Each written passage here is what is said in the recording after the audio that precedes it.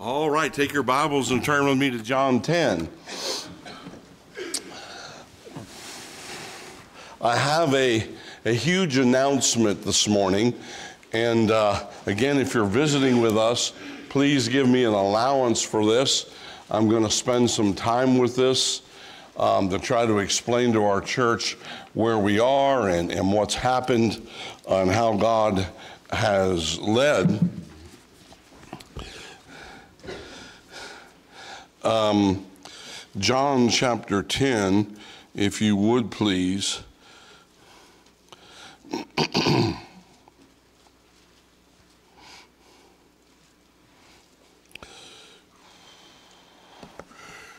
In John 10, our, our Lord, um, we, we, we know this as the Good Shepherd passage, of course.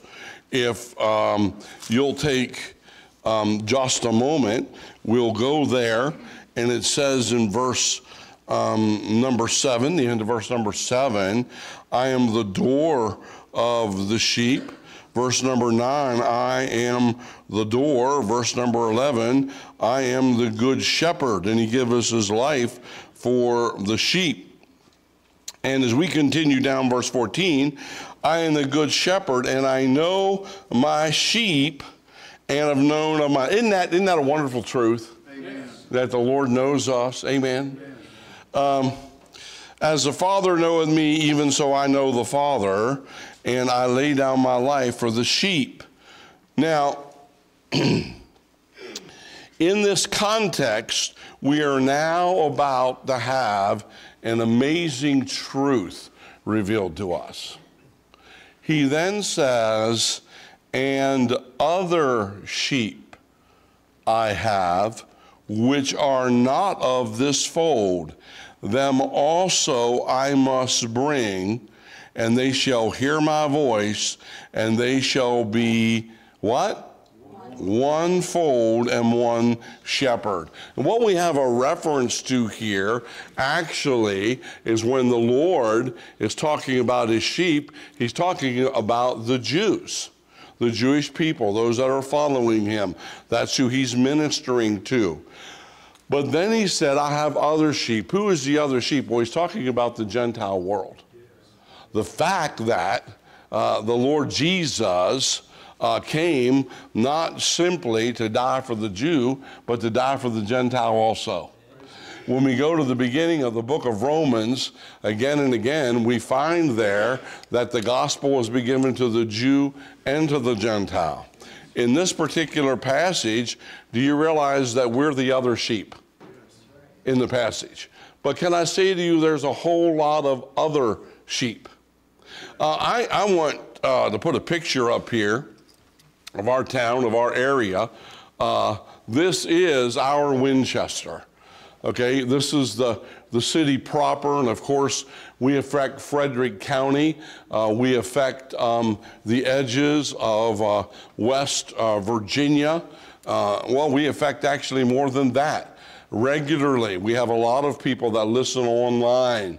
Um, uh, I had a man that just made me laugh. It was this morning, actually. He Said, Preacher, I think I'm going to listen to you this morning, but I want you to know I'm sitting in my church and I have my phone on, I have an earplug in, and I'm at my church, but I think I'm going to listen to you. And he said, my, my only problem with that is I'm afraid I'm going to say amen at the wrong time. yeah, I did the same thing. You really had me laughing. Uh, for a long time, um, I have had a burden about an area of ministry, and um, we have actually tried to start this ministry twice. Um, we see all around us. I was at Costco yesterday, and as I looked around, 20%, at least 20% of the people in Costco were Spanish speaking. 20%. A few years ago, uh, we had um, in a census that 19%, 19% of Winchester City is Hispanic. 12% of Frederick County. I have estimates from a man I'm going to introduce to you just in a moment that in our area, easily we have between 25,000 and 35,000, maybe more. Actually, if you reach out a little farther, maybe closer to 40,000 people that speak some type, or we would consider Spanish. Let me just share with you a, a journey that, that I have been on. I want to put a missionary up here that we support. Many of you know um, Brother um, Dewey Whitfield. We've supported him now for a couple of years. If I go to my cell phone and I go back to our conversations, it would have been 2021 on my cell phone that I begin to ask him, Is there anybody that you know of that would be burdened to come and uh, to use of the Lord to be able to start a Spanish speaking ministry in our church. I'm burdened about that. That was in 2021. He found a man, and in my conversations with that man, a good man, actually a, a professor, I just, I just didn't have, did not have liberty at all uh, to bring that man on, and I could be more specific, but I don't want this to get longer uh, than, than, what it already is going to be. And so I've asked Brother, Brother Whitfield about this, and um, uh, probably about eight months ago, um, we began to talk more serious about this in our area. And um, he has spent time from Hagerstown to Harrisonburg. And if you know anything about the Harrisonburg, Edinburg area, um, you have um, a lot of Hispanic people coming in there working in jobs like the chicken factories, et cetera, and they're huge. They're momentous. And so in this corridor, uh, we have literally, the word is an explosion of Spanish ministry and growth in families um, that's just actually, actually it's astounding um, how much it is. Um, most of the time, if you're going to have a work crew, whether it's roof or yard or whatever, you're going to find that um, there are some type of Spanish people pe- people there involved. Uh, how many of you ever go and we use the phrase we should maybe we do we're going to go eat Mexican? How many of you ever do that? Yeah, come on, the rest of you. Uh, we, we, we have this influence all around us. And so the, the burden for this has grown in my heart over a period of time. And um, several months ago, um, he came to me and said, I, am I'm, I'm really burdened. He has planted six uh, Spanish speaking churches in America in 21 years. He said, I'm really burdened for the valley. And he said, Pastor, I'd, I'd like to plant two churches um, at the same time, if I could, if God would allow that in the valley. And so in February of this year, he came to me and uh, we were talking, and he said, Would you pray with me for a month? And let's meet in March about the possibility of two churches here. And I did that and he met with me, and uh, this is what he shared. Um, Valley Baptist Church in Edinburg. If you're familiar with that assembly, that used to be Jim Bailey's church, um, has a Spanish ministry that just started because those folks started coming um, to the church just looking for something. And uh, they've had that ministry going now for a good while. And um, they'll, they'll average, in all honesty, anywhere from 10 to 20 people is what they'll average faithfully. They had a funeral uh, for an Hispanic man. They had 160 people show up down there, and he preached that funeral. So in two weeks, him and his wife moved to Edinburg. Um, and uh, they're, they are living there. Um, in a pull behind trailer, about 40 foot trailer. They're hooking up with electric, water, sewer. They've taken a garage down there. That, that's a big facility down there. And they've turned the garage into a study for him. That is set. He's starting it in two weeks. That ministry is, is going. He then, as we sat down, said, Pastor, the second church I would like to start is here in Winchester.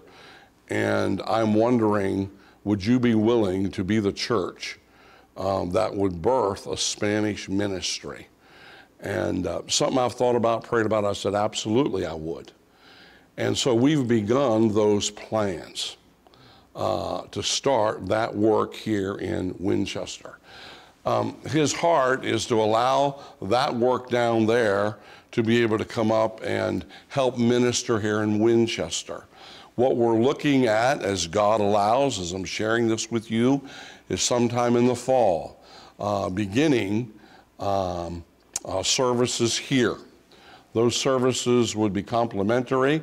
They would be an early service down there and an afternoon service up here at Emmanuel. Um,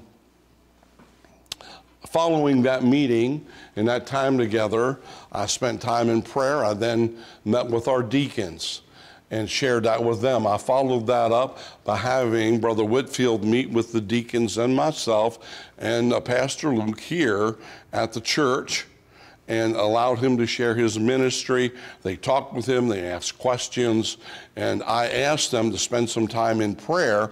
And I'm now coming to you after all those steps because they feel unanimously that this is something that we need to pursue as a church. Um, a little further explanation, if I can. Um, that brother is fully supported um, which means that he has a place to live and stay. We are obviously going to be involved in, in helping him and providing for him, but it's not going to be the salary that it would be. Uh, that that the necessary that salary if we were taking on another full-time pastor. What he is going to be is a, a missionary church planter uh, interacting with both of our assemblies. Um, the church in Edinburg is very happy and satisfied with this. I've sat down with him. We've had discussions about doctrine and what we believe. We've had discussions about the border. Uh, we've had discussions um, uh, uh about support, about time. He assumes that it would take five to seven years to be able to get the church planted here, settled, uh, enough that down the road then Emmanuel could call its own pastor. And I'm going to be very clear. We're not talking about starting its own Spanish work. We're talking about this being an actual part of Emmanuel Baptist Church. Okay? Um, I have uh, met with, obviously, Don and I have met with him and his wife, and we have spent time together uh, folks. And so, in every, I've asked God to confirm this again and again, and uh, the Lord has done that. So, um, what I'm doing today is I'm presenting this to you. And I'm asking you to pray about it. I'm asking you to see the need in our area for this kind of ministry. I know there'll be a lot of questions, etc. I've asked him to come and in several weeks, he is going to be here at Emmanuel, and he is going to share with you his heart and how this happened, how God developed this in his heart, why he believes he needs to be here. Uh, the idea of him being Edinburg is done, settled, it's over. That, that, that's happening. Okay? He further would like to see, as two churches are planted, that he'd actually like to see maybe a Spanish Bible Institute started where men could be trained here in the area. We're sort of just allowing God to lead in that. So, uh, I am, I am tremendously thrilled and excited about this. It, it's a huge opportunity for our assembly. Um, it um, I believe, uh, of course, It's going to have assets and liabilities like starting any ministry. This is the biggest ministry step we've taken since we started RU um, here at the church. Okay? So be prayerful with me about this. I know it's a lot to take in uh, as, as we consider um, this ministry. I know that you'll have some more questions, but pray with me about that. I come back to this passage here in John, um, verse number 16 Other sheep I have. All around you, you have Spanish speaking people that live across from you, that you work with. Wouldn't it be a blessing to have some of them that have trusted Christ because of this ministry? Okay? So, um, Lord, you take uh, the presentation, the time, the conversation, the burden, and Lord, you use it in our lives as you see fit. In Jesus' name, amen. All right, okay. Let's uh, now um, change gears, and I'm going to try to have a shortened message. Yeah, good luck with that one, okay? And uh, I want you to take um, your Bibles, as it were, and uh, let's go to Romans chapter number five. I want to preach to us today in victory, victory in your Christian life.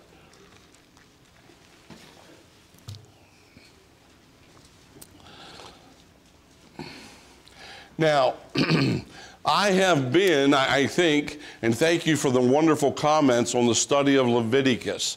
I know that's been very heavy. It's been a lot of heavy material. Today, um, I'm going to share aspects about our Christian faith, but I want to share one major truth that's going to help you to have victory in your Christian life. Okay? So notice, I'm going to move through the points fairly quickly, but notice, if you would please, uh, the book of Romans, chapter number five, there. And uh, notice, if you would please, uh, verse number eight. But God commended his love toward us, and that while we were yet what? Sinners, Christ died for us. Much more than being now justified, that's made righteous by his blood, we shall be saved from wrath through him. Lord, we ask your blessing upon the word of God. Use it in your name. Amen. Um, I want to just for a moment use marriage as an illustration. Uh, marriage uh, if you would, if I'm trying to define that, um, I have a, a, a, a, city definition and a country definition, all right? Uh, the city def, de, de, de, definition, maybe a little bit heavier, would say that marriage is an irreplaceable and core institution of human society created by God before the fall of Adam and Eve, which communicates spiritual truth, about the human race, about relationships. A marriage is a picture of Christ and his church. Now, the country definition would be this marriage is two people, a man and a woman, committing themselves together in the will of God for a lifetime. Marriage is a man and a woman committing themselves together in the will of God for a lifetime. So let's talk about that.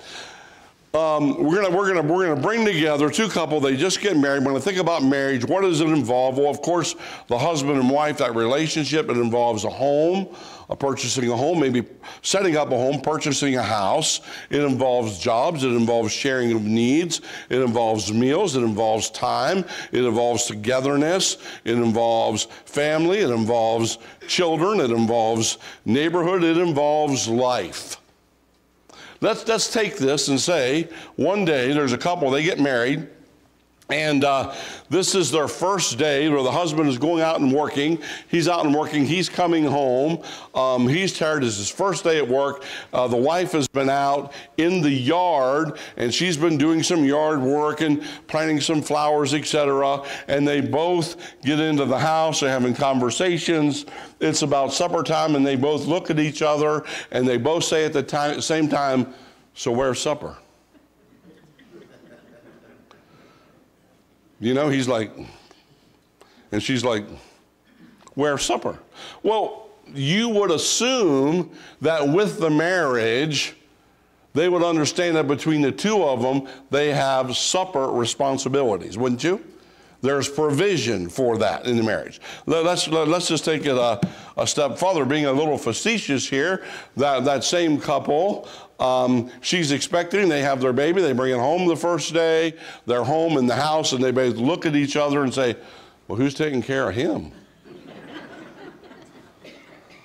okay? Again, with marriage comes that supposing that that, that, that kind of thing's going to be taken care of. Um, with marriage, we would assume that we do the phrase when a couple gets married, okay, uh, we're, we're, we're, getting married, what, till death do us part. We have these phrases in there uh, in sickness and in health. That's part of marriage.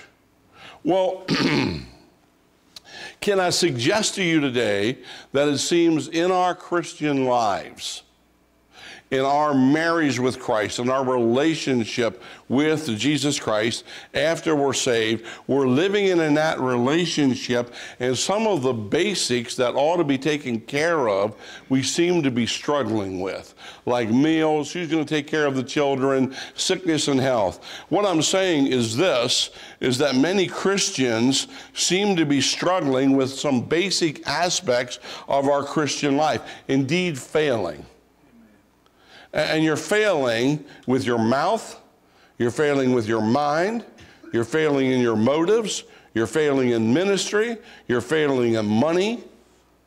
And it seems like here we are, we're, we're saved, but we're, all we do is hold on.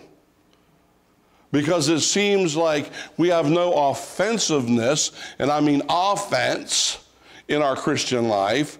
Joy only comes to us occasionally, and it's like we want to sing, and by the way, we don't sing this song at Emmanuel, and Pastor Luke knows that. Okay, hold the fort, for I am coming. Okay, because that seems to be what we're doing. We're just going to hold the fort. Okay, while things are so bad, Jesus is soon coming. Okay, did you see Iran just attack Israel? It's the end. That's it. We're, we're, we're done. Well, maybe not. We could be here a while yet. You know, it was like, oh, look, look, look, look what's happening with the eclipse. All kinds of bad and terrible things are going to happen. Okay? maybe not, maybe not quite. Um, but, but here we are, and I guess what I'm saying is we seem to be missing something in, in our Christianity. And, and, and, we, and we seem to be living so often without victory. And it seems like when we have victory, it comes from the fact of our determination because I'm just going to push through and I'm just going to do it. Okay, and that ends up, even though that might be good flash reasoning, it's still flash reasoning. And so, where is this victory? A couple of areas, if you would. Um, I need victory in my sanctification. That is my walk with Christ. That's going to bring change in all areas, sanctifying me, holiness of mind and of body and of walk. I need help with my service. I don't know about you. God said I'm to be, I am to be full of good works. Are you? Where is your imprint, Mister? Where now is your imprint, your hand of service or involvement at Emmanuel Baptist Church? Preacher, I'm just uncomfortable you asking me that. Well, better me ask you that than Jesus ask you that one day. I mean, are you here? Are you part of this church? Next, when it comes to shepherding, The shepherding. I'm interacting with God and there has to be shepherding. That's of me. I need the encouragements from God. Do you? I need comfort from the Lord as I walk with Him through this world. I need consolation, soul winning.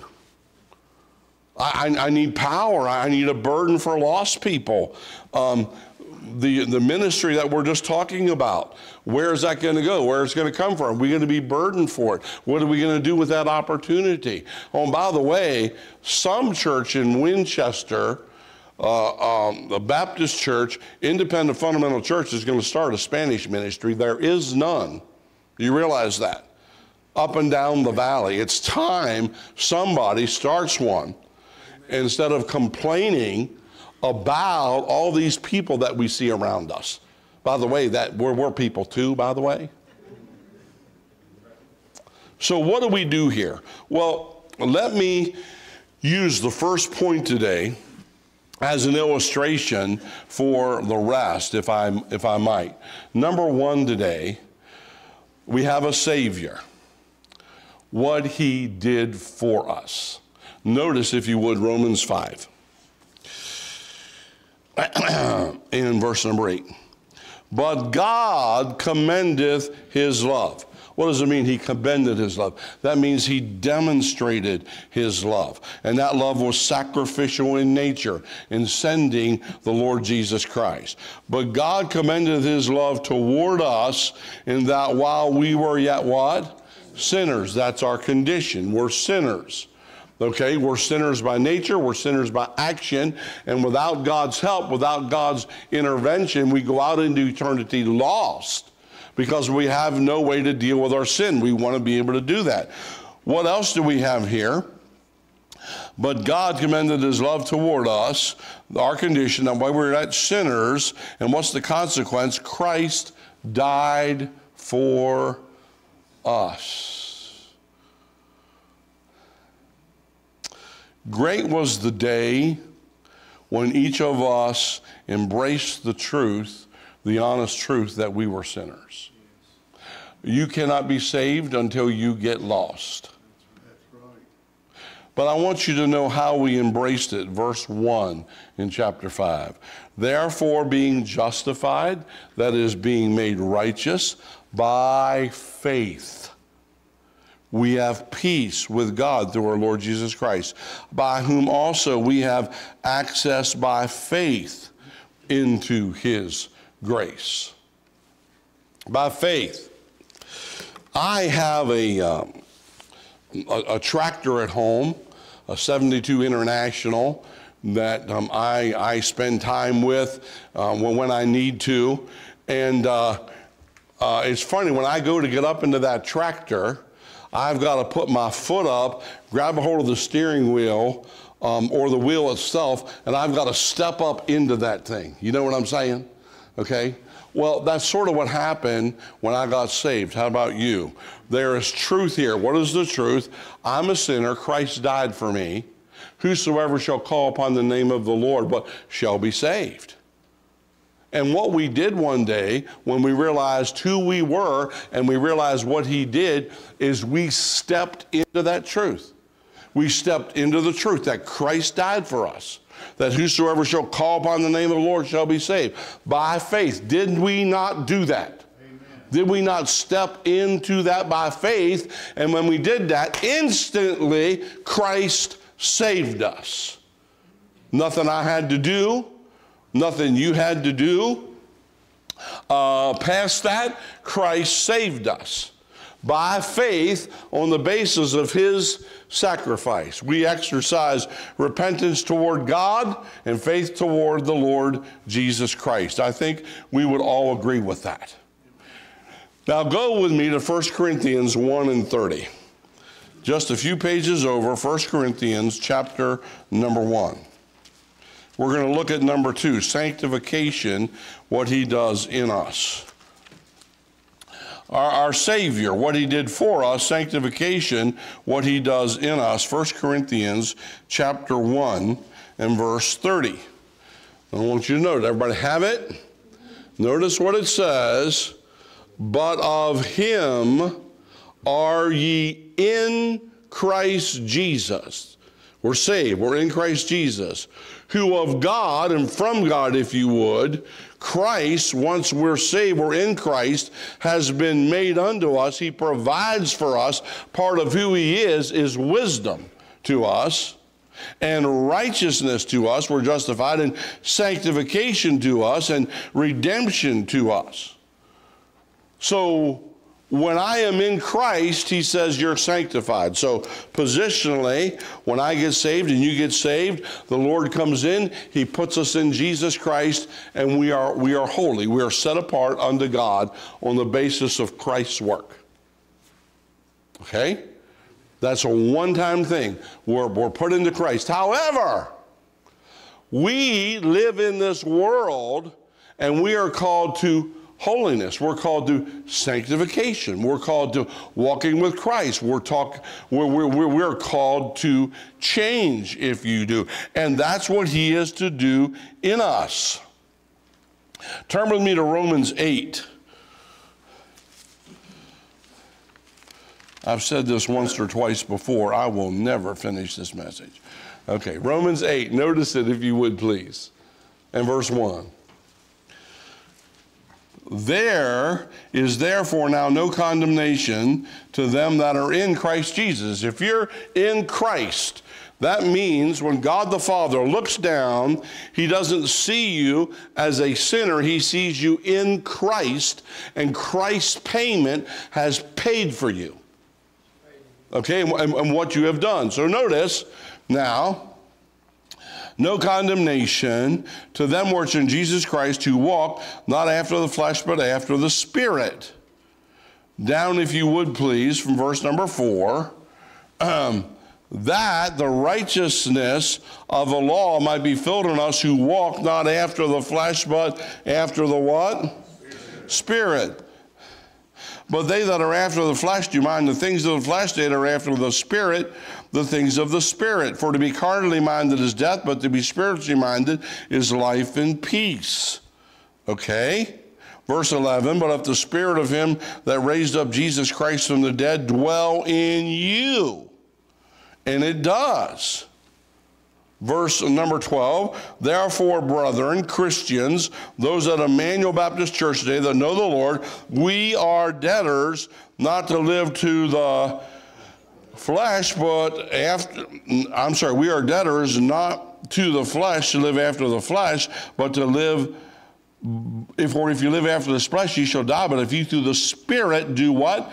Mortify the deeds of the body ye shall live. For as many as are led by the Spirit. Now, this is a mouthful. Okay? Here is the great struggle we were talking about in the beginning of the message.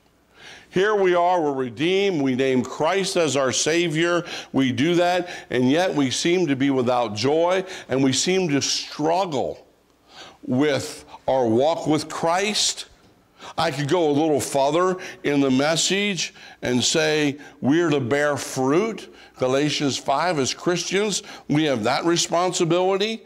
All of those things, and it seems like we're struggling so much to do that. Here's the principle I, I, I want to share with you.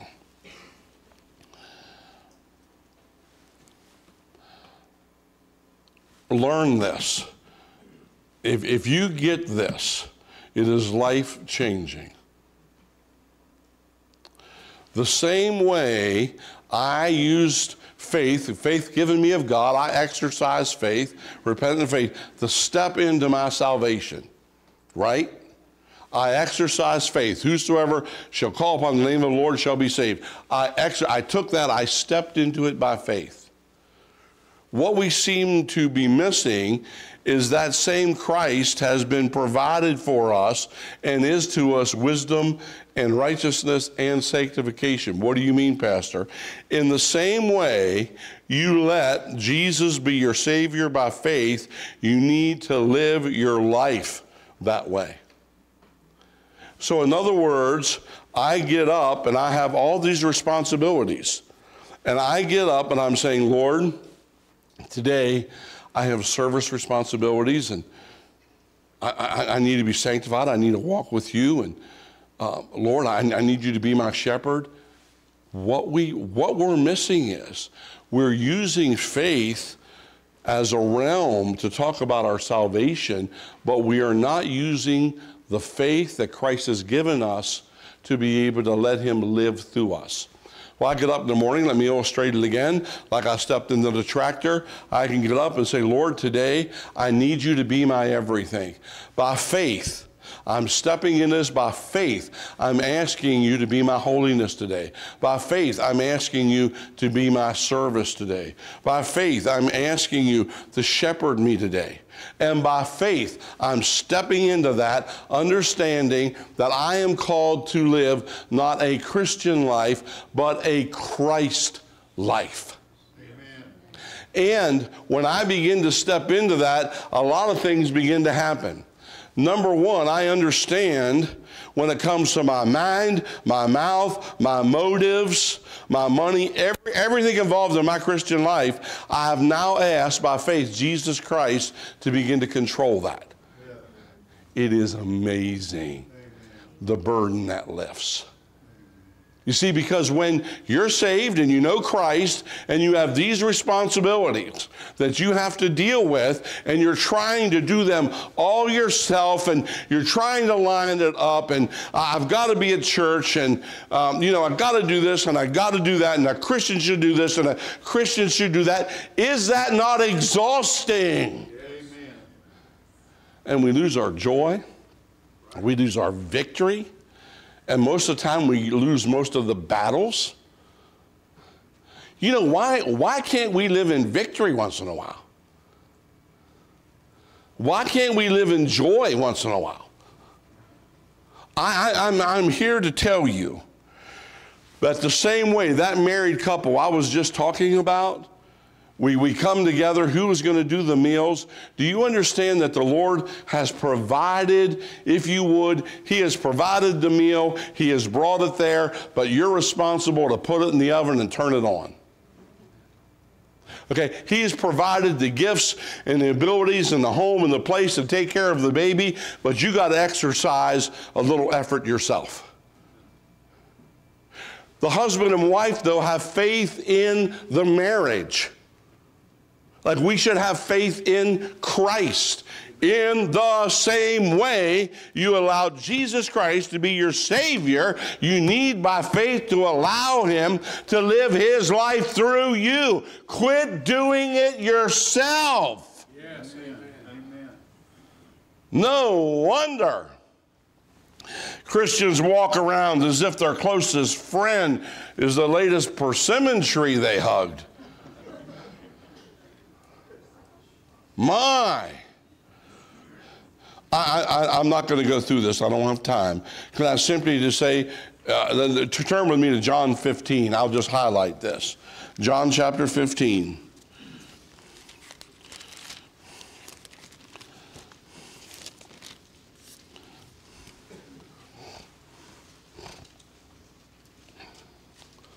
Notice John 15 and verse 5. We're going to have John 15 and verse 5. Jesus is speaking here. He said, I am the vine. He's an illustration. And ye are the branches. You come off of the vine. He that abideth in me, like a branch, abides in the vine. If the branch is broke, it's going to die. But if the branch is attached to the vine, it can bring forth fruit. Okay? He that abideth in me, and I in him, the same bringeth forth much fruit, for without me ye can do nothing. The same principle. How do I bear fruit in my Christian life? How do I bring forth peace, joy, love? All right? And certainly we're not going to do that perfectly. But, but how do I live a Christian life that has some fruitfulness to it? You first start by stopping and getting on your knees and saying, God, I can't do it. And just like you came to Christ for salvation and exercise faith, you need to exercise that same faith and say, Lord, you're made unto me wisdom.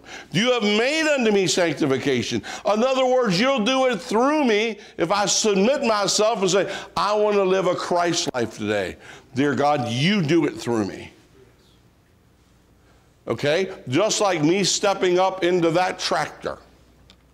Step into the faith, step into the truth that the Lord has given you. Step into those things if you would. Turn with me and we'll, we'll close to Joshua chapter number 7. Joshua chapter number 7.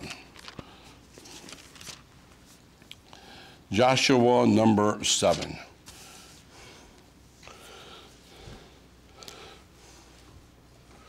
Joshua 7 is an interesting passage.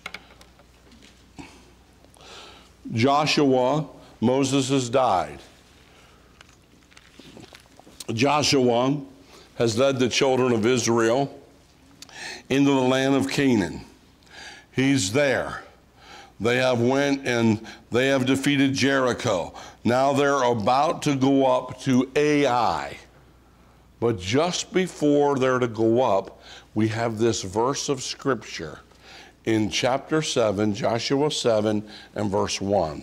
And it says this, but the children of Israel committed a trespass in the accursed thing for Achan, the son of Carmi, the son of Zabdi, the son of Zeri, of the tribe of Judah, took of the accursed thing, and the anger of the Lord was kindled against the children of Israel. Now, what happened here?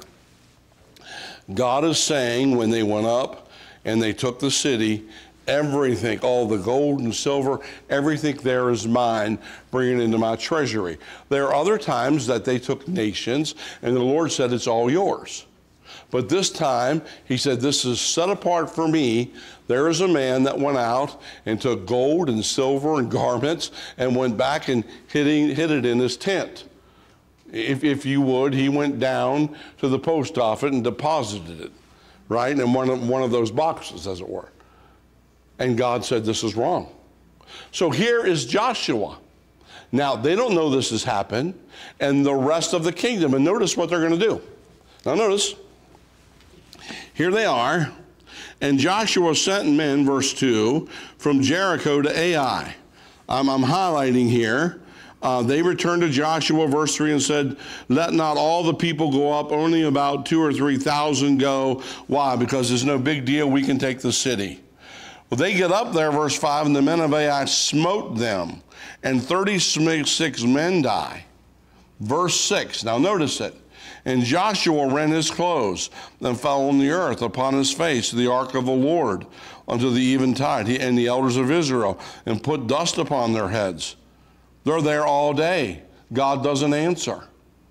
He said, What's wrong? Verse 7 And Joshua said, Alas, O Lord God, therefore hast thou at all brought this people over Jordan to deliver us into the hand of the Amorites, to destroy us. Would to God we had been content and dwelt on the other side of Jordan. And the Lord, O Lord, what shall I say when Israel turneth their backs and runs? Verse 10. And the, it's like the Lord is a little exasperated and he's just waiting, shaking his head.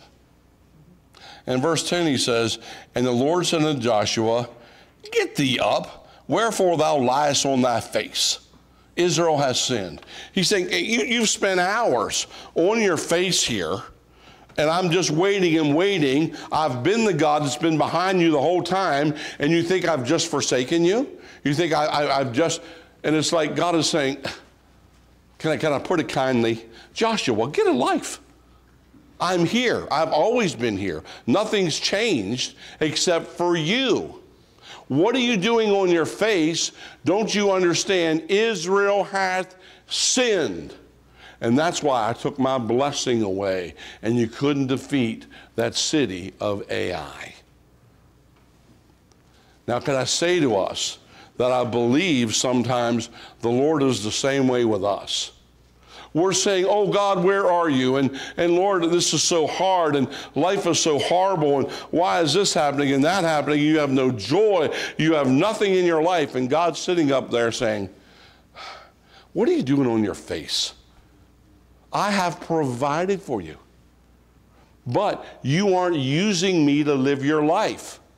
You're using you to live your life. Quit using you to live your life. You're not going to have victory.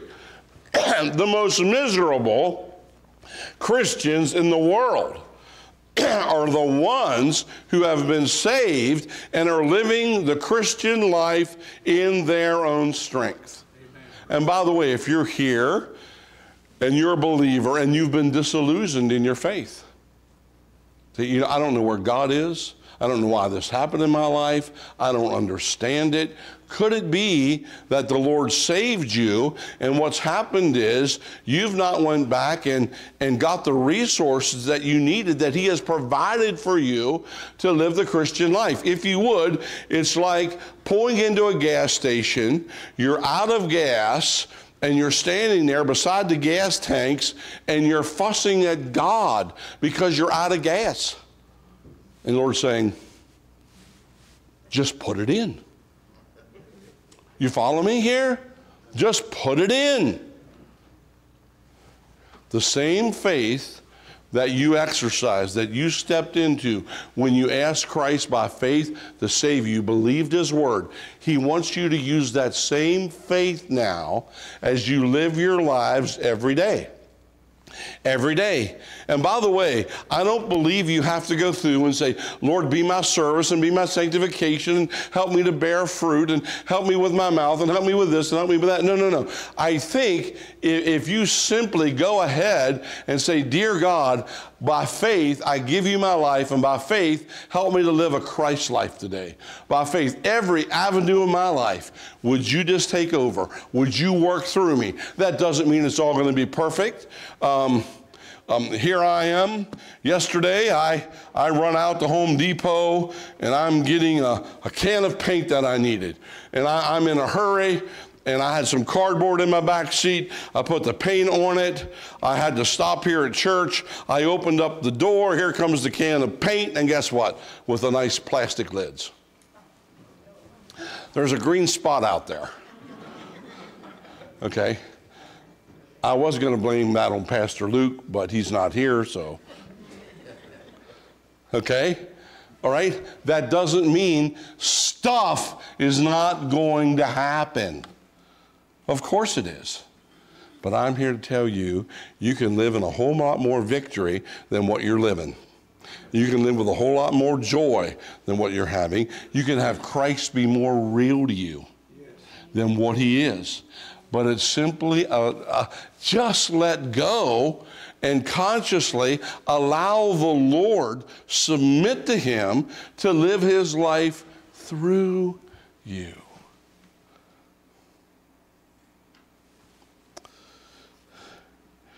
come home, married, first day, the job, she's out in the garden, and you walk in and you say, Where's supper? God never intended that. Never did. Let's pray. Lord, now take your word today and use it in our hearts and our lives. I pray. Um, God, we need your help. We need your help. We need your help. We need your help so much. With heads bowed and eyes closed, I, I wonder if you're here and you say, I'm a Christian pastor. I know Christ is my Savior, but boy, I haven't been letting, by faith, I haven't been living my life or letting Him live it through me. I've been struggling. I've been struggling with my joy, with my mouth, with my mind, with my motives. So many areas I've been struggling with. Today, I surrender all of that. I surrender all of that today, and I'm asking Jesus Christ to live his life through me. Let me see your hands. You're holding your hands up today. I'm, I'm praying that way right now. I'm praying that way right now. So many, many hands. God bless you today. Pray through about that. Make this something that you do every day. as you give your life to the Lord. Secondly, you're here today and you say, Pastor Rebert, I have a desire for spiritual things, but the fact is, I don't know if I've ever been saved. I don't know if something were to happen to me and I went out in eternity and I'd go to heaven when I die. I don't know that for sure. Boy, I'd sure like to pray for you today. As those other people raise their hand, would you be willing, just between me, you, and God, to raise your hand and say, Pastor, pray for me. I'm not sure about my relationship with Him. I'm not sure about my salvation. I want to be. I'm not sure. Would you just hold your hand up? I can pray for you today. Pastor Rebert, I'm not sure. Would you just do that? Now, Lord Jesus, thank you for your watch, care, and love in each of our lives. In Jesus' name, amen. Would you stand with me, heads bowed, eyes closed? This is the invitation. There's something you need to pray about, you need to get on your knees about. All right, Lord, live your life through me. I am so tired of this dry world. I, I, am so tired of living without joy. I'm so tired of going through the motions. I am so tired of it. God has spoken. Would you just step out and come? Step out and come right now. Right, right to the front. Dear God, I am so tired of this.